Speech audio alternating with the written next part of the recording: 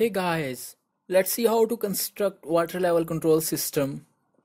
We need some ESP8266 development board. I'll be using Node MCU.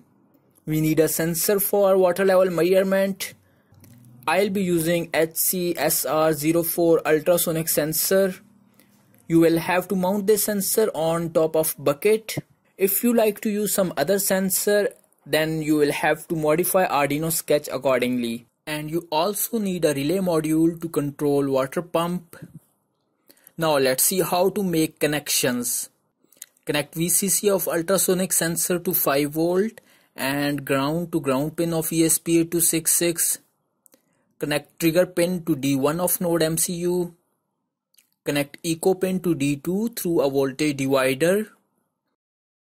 Connect control signal of relay module to D4 of node MCU. In another tutorial I have explained how to hook up this relay module. If you have never used this before I suggest you to have a look on that tutorial as well. Now take a bucket, measure its height and diameter, use some calculator to measure its capacity in liters and mount ultrasonic sensor on top of the bucket. Now log into your Adafruit IO account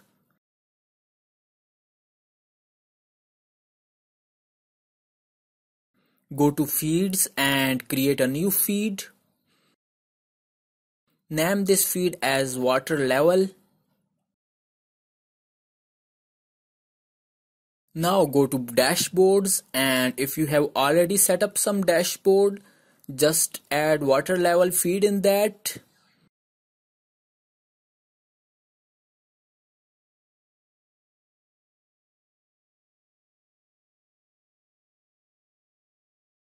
Otherwise start with creating new dashboard.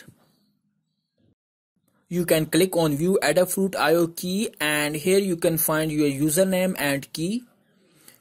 You will have to enter these parameters in your Arduino sketch. Now let's have a look on HTML file. I've not written this code myself, just downloaded it and modified it a little bit for use with my water level control system. I've copied slider code from codepen.io. You can play with this slider yourself.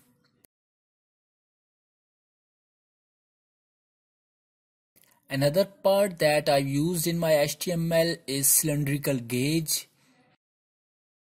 I've downloaded that gauge from fusioncharts.com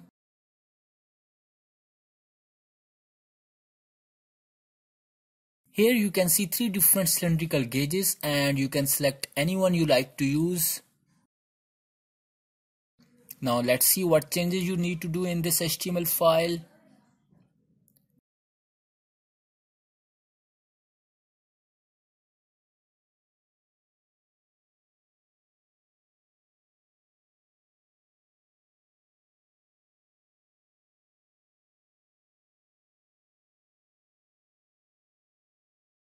In this fusioncharts.ready function, you have to change upper limit as per your bucket capacity.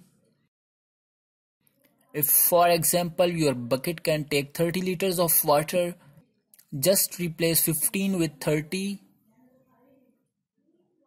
Save this file and refresh browser.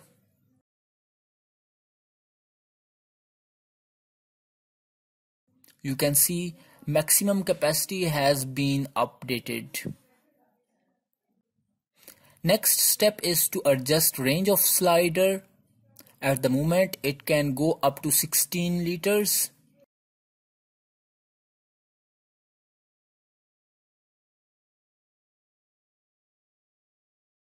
Here in jQuery slider function you can adjust maximum range of slider you can also select default values for the handles.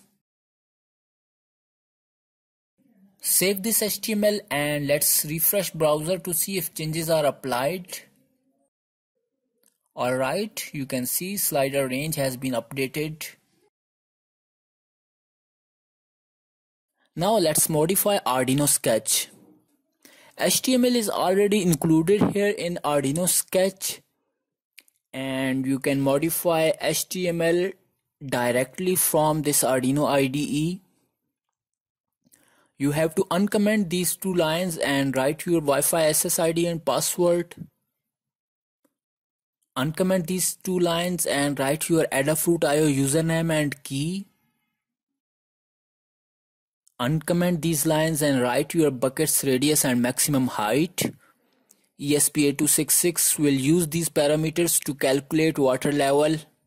I've connected relay to D4 and if you have to connect relay to some other GPIO, just modify this pin assignment. Ultrasonic sensor is connected to D1 and D2. If you have to use some other pins, just modify here. Finally, you have to select lower water level after which motor should turn on and upper water level after which motor should turn off. The settings should be same as you have selected for slider handles.